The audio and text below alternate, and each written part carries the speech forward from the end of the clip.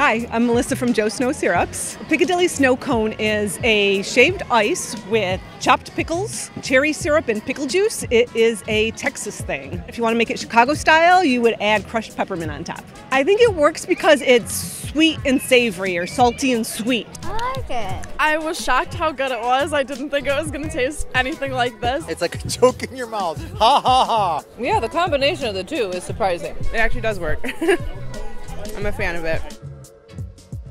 It's been received really well. I think they may order it almost on a dare from their friends, but then they end up liking it.